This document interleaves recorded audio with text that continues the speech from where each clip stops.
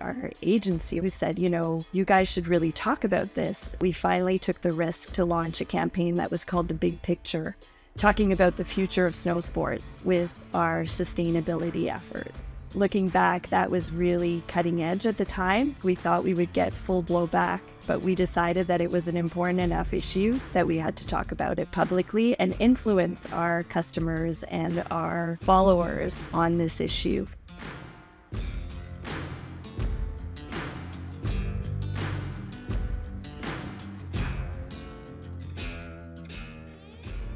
Welcome to the Backcountry Marketing Podcast. Today I'm sitting down with Anik Champoux. She is the Programs and Marketing Director over at Protect Our Winters Canada. Anik, good morning. Good to see you. Hello. Thanks for having me. Yeah, thanks for being here. Uh, where do we find you in the world today? Well, uh, today I live in Whistler, British Columbia. Um, yeah, kind of five minutes away from the from the mountain. Um, but I am originally from Saint Agathe des Monts, Quebec. So French Canadian.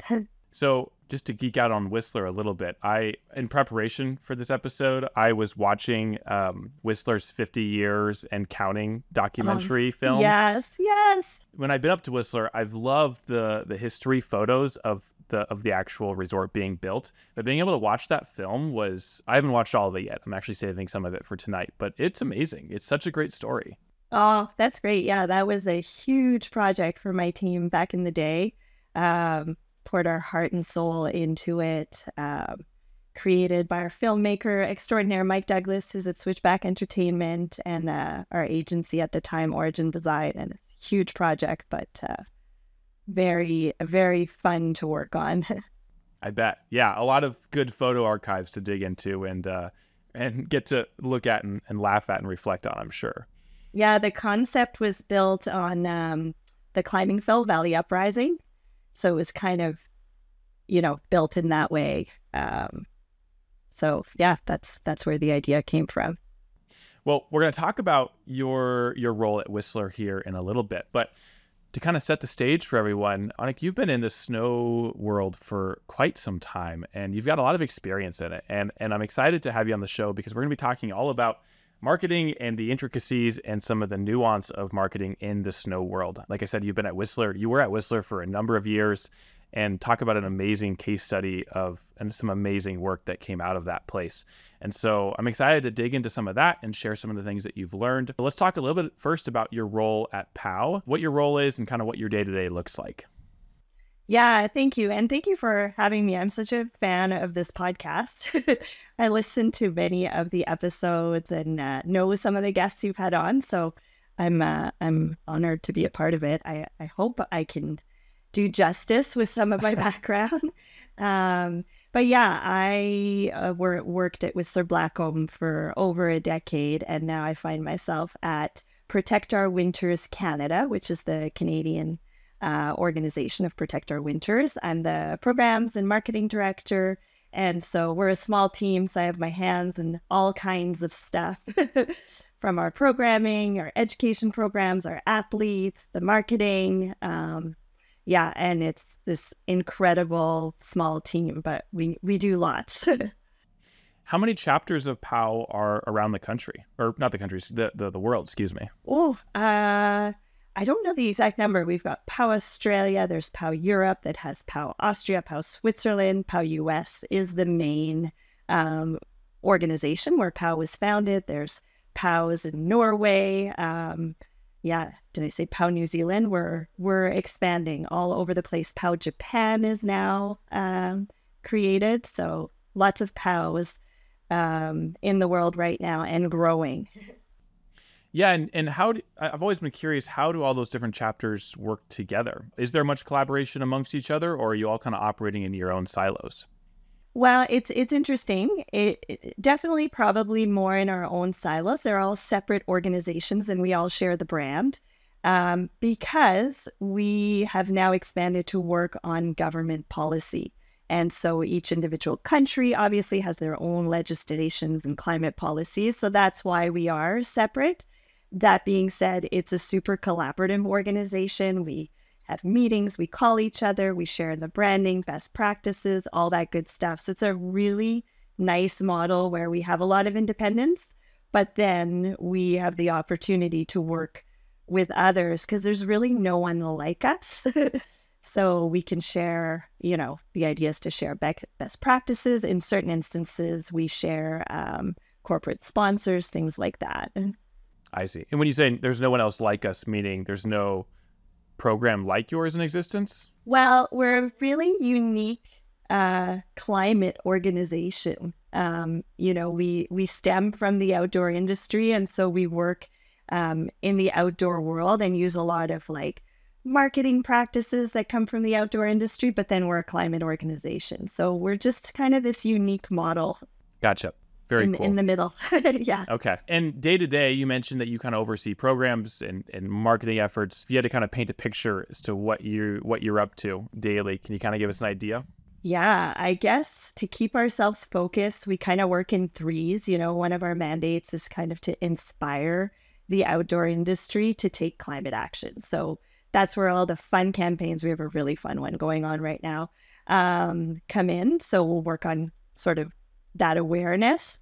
And then education is a huge part of what we do. So we'll work with other climate organizations to kind of translate and articulate some of the projects and legislations that they're working on. And then um, newly for POW Canada, we're really getting into that advocacy work, like physically going to government, to parliament in Canada, and uh, working on uh, policies. So yeah. that's so it's sort of those three things that we try to balance. Um, so yeah, it's it's a busy time.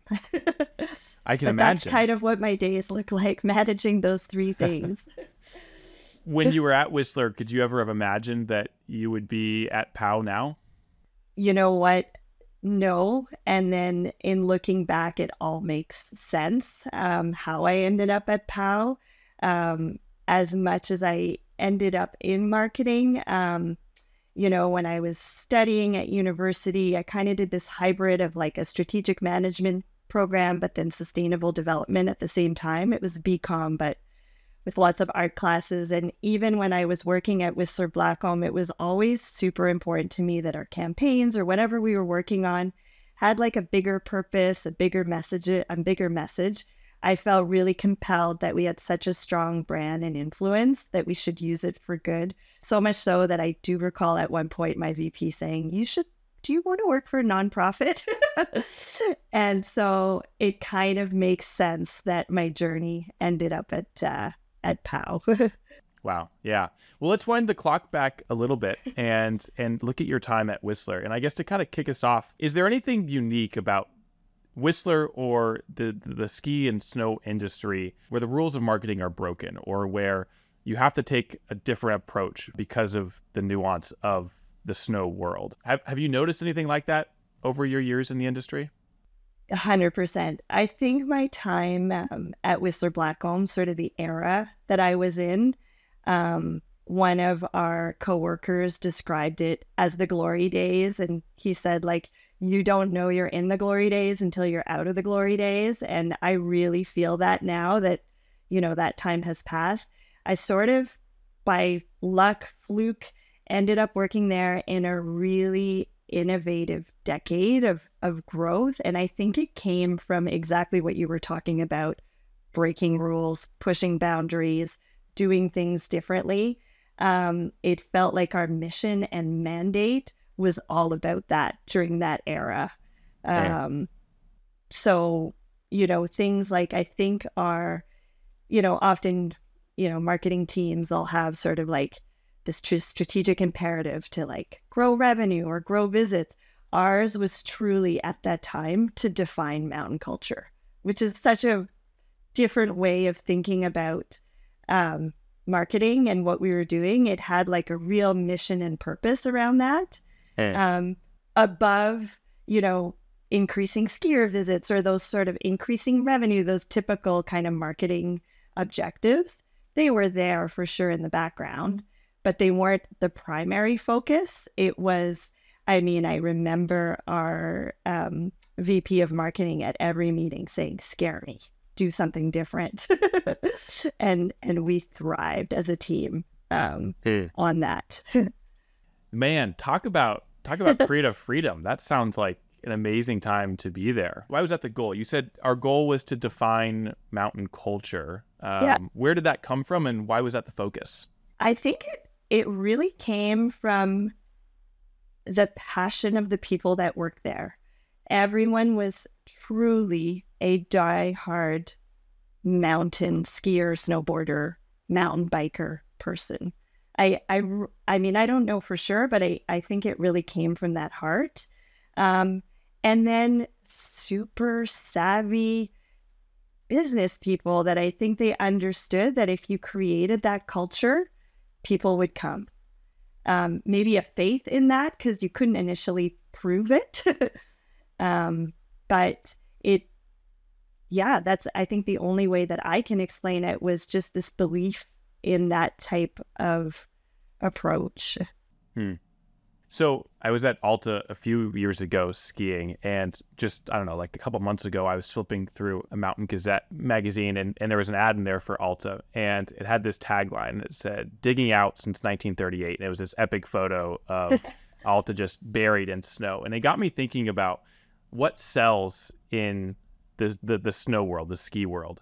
And you're talking about this idea of build it and they will come, defining mountain culture. What works? What draws people to a place like Whistler or Alta? And how do you reflect that in your messaging and in some of the campaigns that you guys created? Yeah. I think in our era or the era that I was in, it was all, like I said, it was about defining mountain culture, but doing it authentically, right? Um, I mean, Whistler Black Blackcomb is this mecca for skiing and snowboarding. That infrastructure is there. The, that mountain, you know, the mountain exists. But um, it was really important to the team at that time to foster that culture and attract the best of the best. And the idea was that if you do that, you know, that influence, that, you know, um, the way people feel inspired, it was really creating, even if you weren't a professional skier or snowboarder, that aspiration to be part of it is what we fueled. And so we did it in so many different ways from hosting, you know, all female big mountain competitions. Um, one t- one year when it was sort of in the, my beginnings, um, our agency was really pushing us to be authentic about that, and we actually hired filmmakers, a bunch of local filmmaker crews, um, to tell the Whistler Blackcomb story, but with full creative, like we did not I mean, we barely briefed them. We said, you tell us what you think it is. And we gave them creative carte blanche and and let them go without us being involved so that it would truly come from them and their endorsement. So lots of kind of tactics like that to really prove the authenticity. Um, really take those risks. It, it was risky and we, we got some interesting things back. And then we thought, oh, maybe we need a little bit of a brief. But it um, it was really all about, you know, we knew we had that authentic mountain culture and it and and and we wanted to prove it. Was part of the reason for creating and fostering that authentic culture because Whistler is such a a large corporate establishment that it was important to to hit that core of like we we understand our core audience 100% 100% we really, you know, it was, like I said, a genuine organization of genuine, truly passionate skiers and snowboarders. And ultimately, I know in everybody's hearts, it was to share that experience and that purpose. And it was, uh, uh, it was genuine. I mean, there's a business model behind it, of course, you know, it, it had to work, but um, it, it, it, it was true. Do you feel like today uh, across the country ski resorts are losing? Are, are there some that are excelling and some that are kind of losing that that authenticity? Do you see that happening? You yeah you you do in in the feel of the brand sometimes and i think it comes from you know maybe at times i mean this is a big philosophical conversation but you know this growth model and always having to increase and grow and add skier visits and add revenue. And i think some can get caught up in that at the forefront of their strategy and and you feel it. Um, i think it's it's risky to not have that as your main strategy because ultimately, you know, shareholders expect you to grow and expect you to increase revenue. But I think if that's what leads your strategy, then you start to feel it in the authenticity. Um, and, you know, every aspect of your marketing starts to have that feeling. And I think, I don't know for sure, potentially longer term, um, that can sort of erode your brand and Sure. Yeah, that makes sense. Um, you mentioned that your VP in every meeting would say, "Show me something that scares me." Uh, what was something that your team worked on that you felt like was was the scariest idea you could come up with?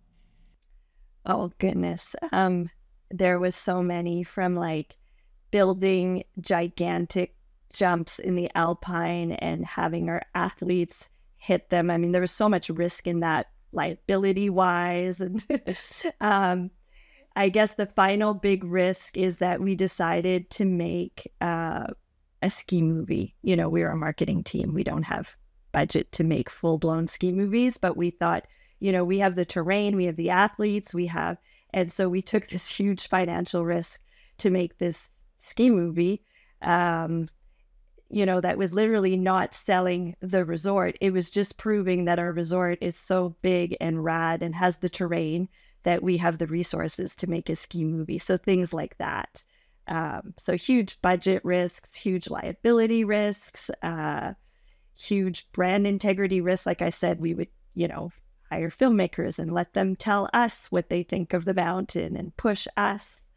Um, and I think another risk that leads me a little bit to the world that I'm living in today was when we decided to go public with our sustainability efforts. So at the time, um, we decided to run a campaign about, you know, we had a, a decent, very good sustainability program at Whistler Blackcomb that had been going on for years. But the feeling was at the time that we weren't perfect. You know, we still had a large carbon footprint. There's people traveling to the resort. There's all these things. And so we kept, um, at the time, it was I think our, our agency origin who said you know you guys should really talk about this and i remember the reluctance to do so because it was like oh we're going to get so much flack and people will say oh well we're not doing this and we're not doing that and so i believe it was in 2015 or 16 that we finally took the risk to launch a campaign that was called the big picture talking about the future of snow sports which, you know, looking back, that was really cutting edge at the time. And it was a huge risk. We thought we would get full blowback um, about not being perfect, but we decided that it was an important enough issue that we had to talk about it publicly and influence our customers and our followers um, on this issue because obviously we were seeing changes on our glacier and in our environment. So doesn't sound like a big risk, but at the time I think it really was. For our CEO to approve a campaign like that, put ourselves out there, um, it was it was mega. Well, at the time, yeah, were there other ski resorts talking about climate and sustainability, or was this one of the first messages out there? I'm sure there were some. Um, I don't remember exactly, but I definitely think that going out in this big a way, we were probably, I don't want to say we were the first. There's probably a resort out there that's going to say, no, we were first. But um, from the big resorts, I, I think we were we were at the beginning of it. That's for sure. I and think other was... resorts were working on it. It was more, you know, to go ahead and make that our main marketing campaign. That was pretty risky. And what was the outcome? You know what? As I say to other resorts who join our programming at Protect Our Winters, essentially nothing happened. you know, it, it wasn't that bad. Um, I'm sure we got some comments on our social media here and there, but it certainly wasn't the blowback that we expected. If anything, people joined us and applauded us for working on it. Um, we got lots of media attention around it. Um, and and it was okay. It was okay. It really was. How did that campaign kind of open up your idea or your spectrum of how much we can talk about climate or how much of a role the resorts have in talking about climate?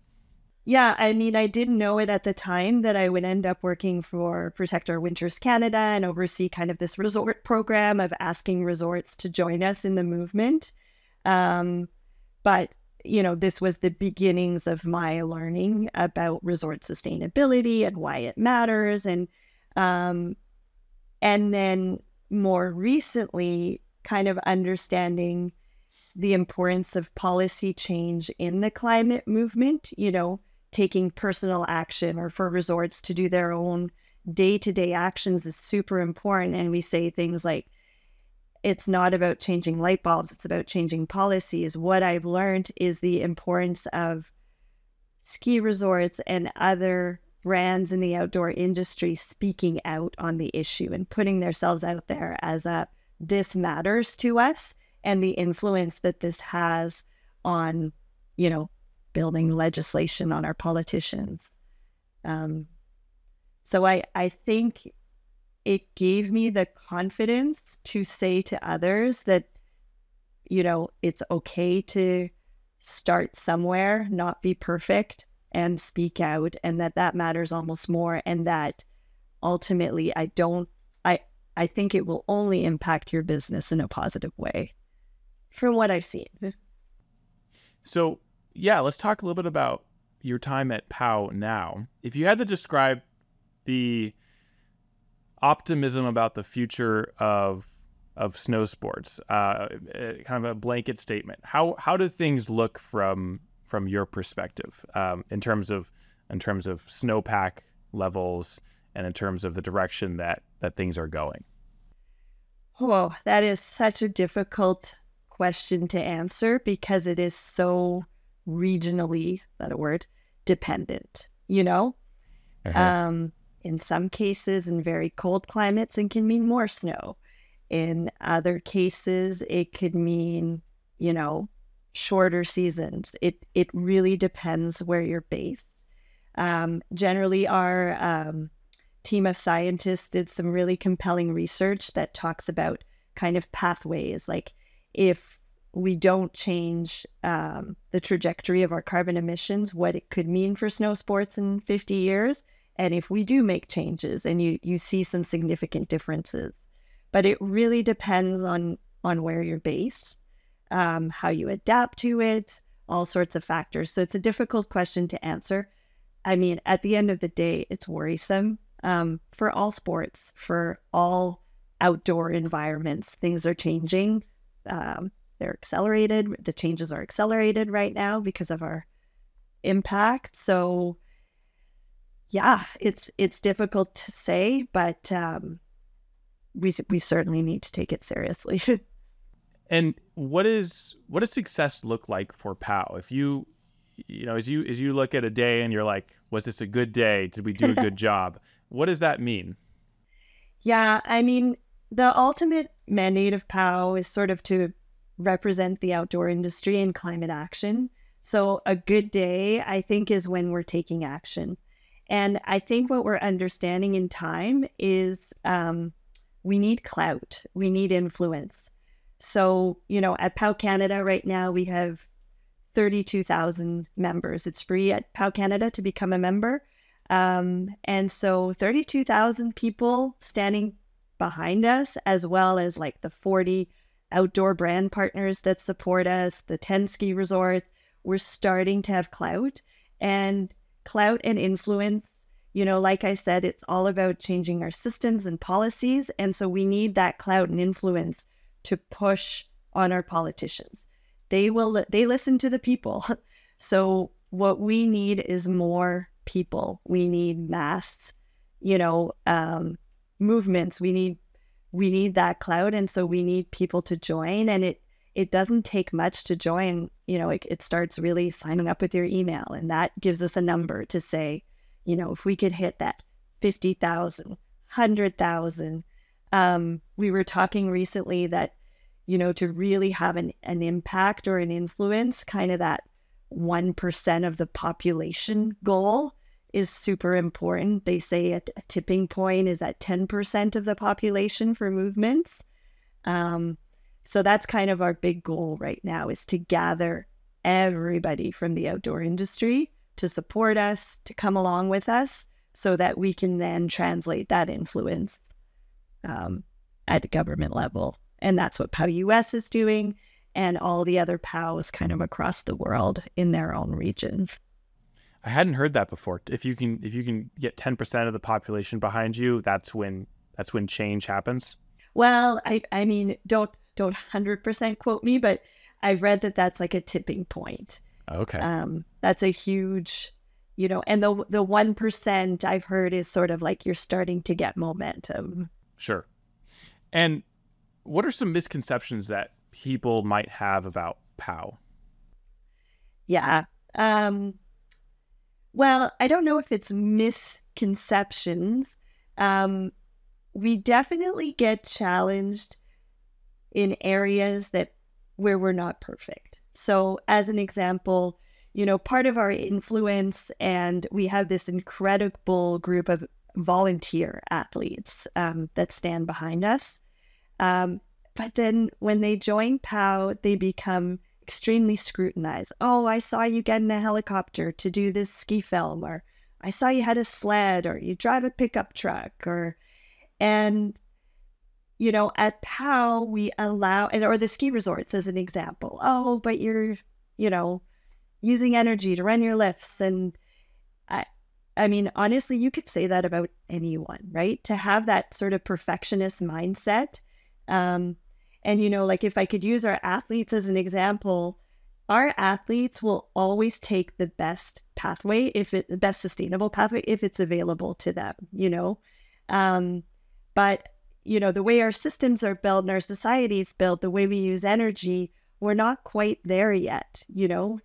Electric sleds are coming, but they're not at the level that our athletes need them. The minute they are, I know they will switch to them. And so our approach is truly that progress we say it we say it over and over and over progress not perfection and i think it's you know where pow really shines is that we allow people that are not perfect to join the movement because at the end of the day like i said we need more people that care and if we block every person that did something imperfect towards the environment and and on honestly the the ones who are who are causing harm to the environment, um, fossil fuel industry, they want to shame us into not taking action if we're not perfect. And so we're kind of fighting against that, saying, you know, um, there's a saying, we must act with dirty hands. You know, if we block every person that's not perfect from the movement, it limits us so much. Now, obviously, we hold you know, our resorts and our brand partners and our athletes accountable, you know, in realistic situations where they can make a better choice, of course. And we want everyone to progress on their journey. We certainly don't want to greenwash or anything like that. But that concept of progress, not perfection, is something that we're sometimes criticized, but that we're okay with, if that makes sense. Yeah, that seems like such a crippling mindset to be had. Like, that's almost like saying, you know that's like not that's like choosing not to go on a run because you're out of shape you're like well i'm out of shape so i might as well not run completely completely and so many people are hesitant um even myself you know when i first you know wanted to work for pow i wondered if i was enough of a climate activist to join the organization you know had a minor in sustainable development but you know in my day to day i was felt pretty environmentalist, but I was like, I'm not a PhD. I don't know. I'm not perfect. Should I join? And so, um, yeah, that reluctance to be part of the movement, I think, is a is a real thing, and that's what we're combating. You know, we want people just start, just start. Even resorts who are like, we want to join POW, but we haven't really do. You know, we're so small, especially smaller resorts. You know, we don't have the budget to have like a sustainability manager and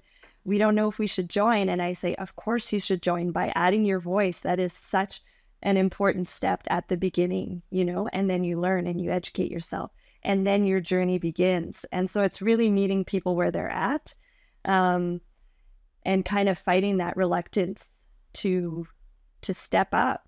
Yeah. So so you're on this mission to to capture 1% of the population and then in the future 10% of the population for your movement. And as you mentioned earlier, POW kind of has three goals: inspire, educate, and then and then the policy component. And this is kind of where your role, your marketing role I find is really interesting because POW like as you mentioned, you guys are very unique. You take a lot of marketing initiatives and efforts to help accomplish these goals. So, kind of tie this back into your role as a marketer and how how do you go about this? How do you go about spreading this mission and and and finding support and finding members through some of your campaign work that you've done? Yeah, I think our our model and our approach, you know, is to really use essentially a lot of us came from the outdoor industry our marketers from the outdoor industry filmmakers um, you know uh, and so we you know my work at whistler blackcomb we were at the time talking about building movements for the snow sports industry and we became quite good at you know finding that like secret sauce of how you influence and for me, POW made total sense. It's like using those best practices for this greater mission. Um, and so we really try to use the learnings that we learned, you know, from marketing in the outdoor industry and bringing that unique approach to the climate movement. So working with influencers like our athletes, um, building these really irreverent campaigns that are eye catching, tapping into people's passion for the sport, you know, finding that common ground. Because I think, you know, in the climate movement, if you can find sort of this common pa- passion, then you can start to have a conversation because you have common ground and sort of that trust of having that the, those shared passions. So we really build on our campaigns um, in thinking about those things. And I think the other thing that makes us unique is the outdoor industry is pretty fun. You know, it's all these kind of fun, pe- purpose, passionate people. And as much as the climate movement is a tough topic, sometimes I think that can be exhausting and turn people away. So we really try to, if we can, in sort of a re- responsible, educated way, bring that fun and irreverence to our campaigns uh, we have a pretty fun one going on right now that I think is really pulling at people's heartstrings and giving them a smile. And then they can feel like, hey, I can be part of this movement. It's not all dire and depressing. What's an example of a campaign that you guys have put together that like shook your expectations you're like oh my gosh like this has so much potential because it, it sounds like what you're saying is you're taking you're taking what you've learned at whistler you've taken these modern very creative approaches uh, that are traditionally used in a product or the resort world. And now you're applying them to the nonprofit advocacy world, which is maybe uh, that sounds like something that's perhaps unique about POW. It sounds like it is unique. What's what's an example of of a campaign or something that you guys implemented that then had a tremendous response? Yeah. Oh, I mean, this some were before my time, some are during my time. I think any campaign that we've done with our athletes that kind of utilize sort of that outdoor language, feel, speak that really brought sort of issues in the climate movement back to sort of that passionate outdoor person. Um, there's so many examples. Also, um, one super successful one, um, we called it the Fact Back campaign. Go fact yourself. and so we, you know, through our athletes and with our scientists, so we kind of addressed these kind of like misconceptions um, in the climate movement. At the time, there was an election going on. So it was sort of taking words out of the politicians' mouths and then fact backing things like that. We did one um, that was called Send It, um, Justin Trudeau, and playing on the fact that our prime minister was a snowboarder and we wanted him to um, work on a certain legislation. We have a, a, super fun one right now going on that I have to give full credit to Max Young, our, our brand manager. And it's kind of playing on the fact that right now, sort of that nostalgia of the 80s and 90s. We're doing this super cheesy campaign about glaciers looking for love and uh, hot glaciers looking for love. and we did this really retro video of, you know, those call in phone types of, um, you know, wanting to find a match. Um, so playing on those kind of really cultural things and then bringing it back to kind of the outdoor industry or whatever's going on, sort of marketing trends that are happening.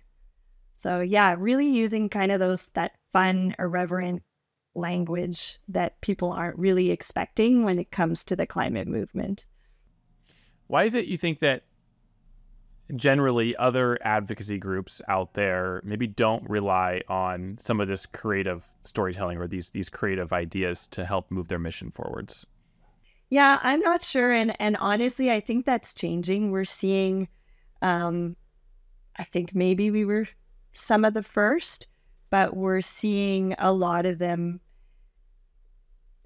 kind of following suit. Um, I think at times maybe it's because it is such a serious topic and kind of that feeling of needing to be so perfect and accurate in speaking about it. And accuracy in science is hugely important. The facts need to be correct. And so that at times that makes it a little more challenging to be fun and playful because you don't want to get it wrong. And that's something that, you know, we're super lucky. We have what we call our Science Alliance. So, a group, we're almost at 20 scientists now that are all volunteers but back us. And so we run everything by them and make sure that, you know, what we're speaking about is accurate.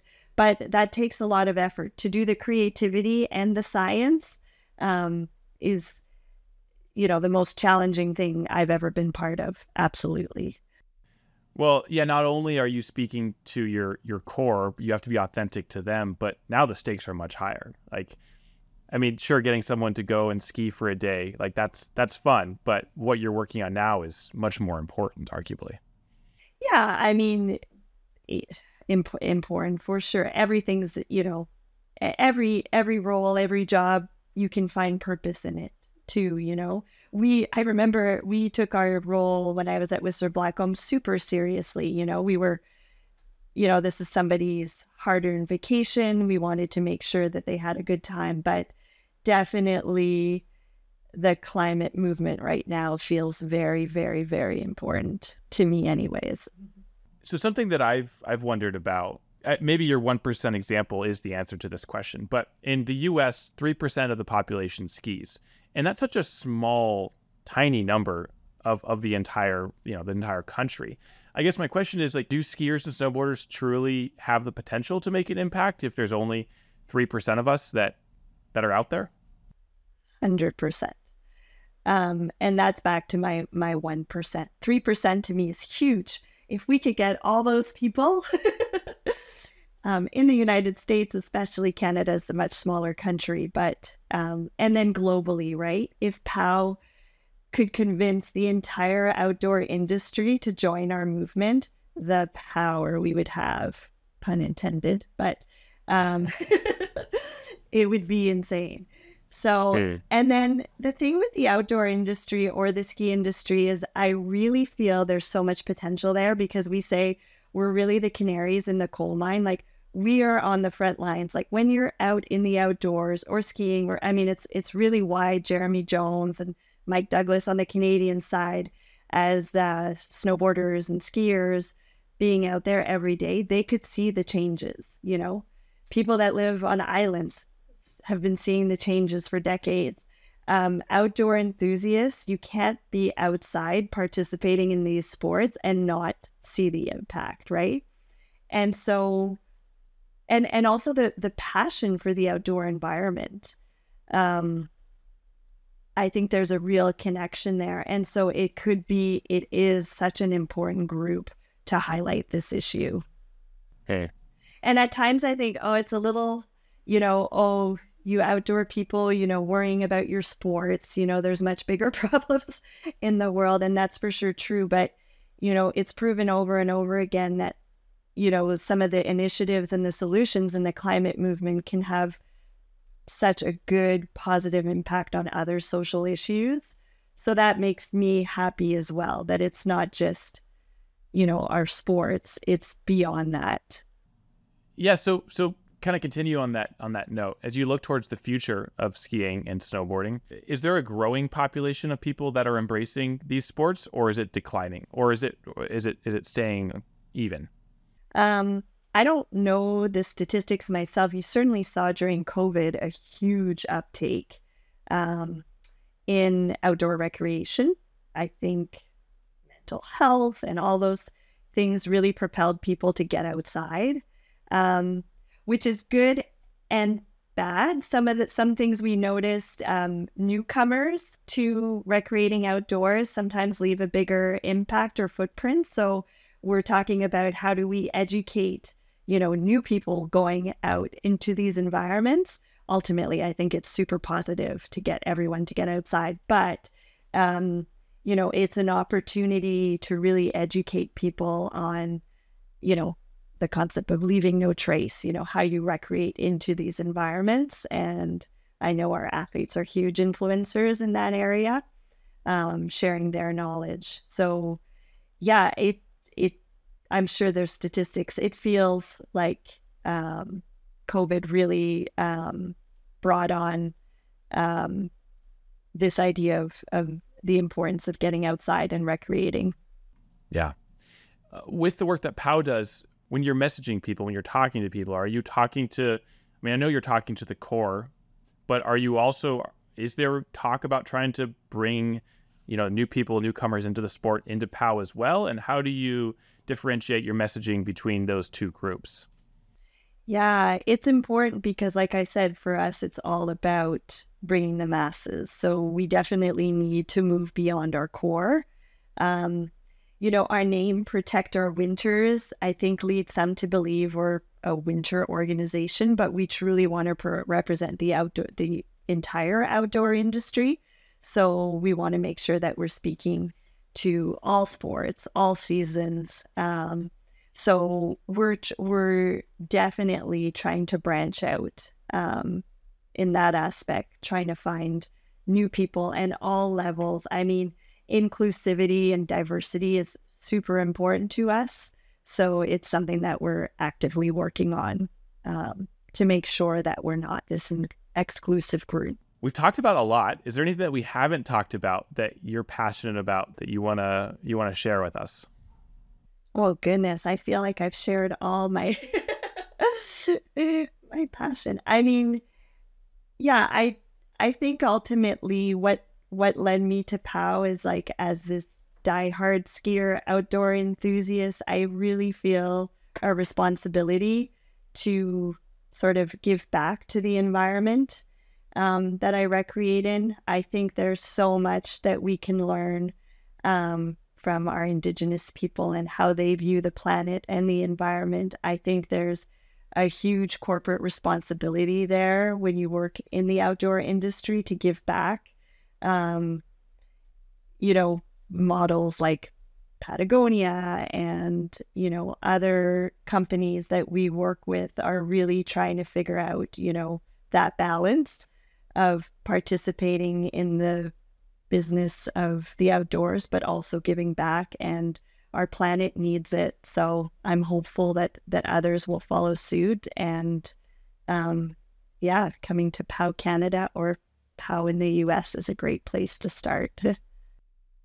Well, I appreciate you taking the time, and you know, you started this conversation by saying, looking back, I understand how all the dots connect uh, as to how to where you ended up today, and it's been cool to kind of reflect on where you've been and and some of the projects you've been a part of, and the lessons you learned there, and how you're applying them today. So I appreciate you taking the time to to come on and, and share your ideas something that we've been doing to wrap up the show with each guest. What questions are you asking yourself? What keeps you up at night these days? What are you wondering?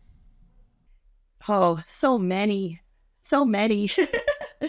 I guess with um, some big questions that I ask myself is, yeah, how ultimately, how do you get more people to care? You know, everybody lives in their daily lives. And I think sometimes it's, there's so much going on in the world, especially right now, you know, there's two ways about it. You can kind of sometimes it's just easier to tune out and just focus on your on your own life and your own day to days. And so, yeah, how how do we get people to care? Especially, I think people with means. You know, the we talked about ski and snowboarding. You know, it's a it's an expensive kind of sport, and so how do we get people who have the means to get involved and share in that sense?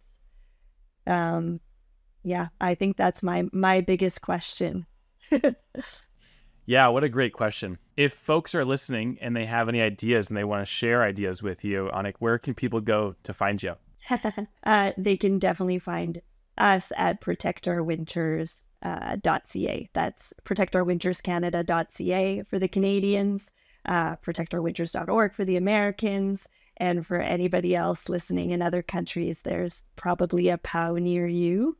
Um, yeah, you can find us on uh, all our social channels. We're super active. We have a really fun campaign going on right now. check it out. Um, that's a combo of all the good things I talked about outdoor industry, climate, fun. so, yeah, that would be the best spot. Amazing. Well, I'm sure I know where I can find you in the next two months as the snow starts to fill up the slopes. I'm sure you're going to be out there having some fun. But Anik, thank you again for taking the time to share your ideas and to share your thoughts. Um, I really, really appreciate it. Oh, and thank you. I I'm always reluctant to do these, but if I can speak about some of the stuff we're working on, I'm I'm all for it, and I I really appreciate the the platform and the time. Thank you. Well, I hope you have a great rest of your day. And yeah, I'm going to think about this question: How do we make more people care? That's a that's a, a simple question, but man, is there a lot behind that? Absolutely. All right. Take care. Thank you. Bye.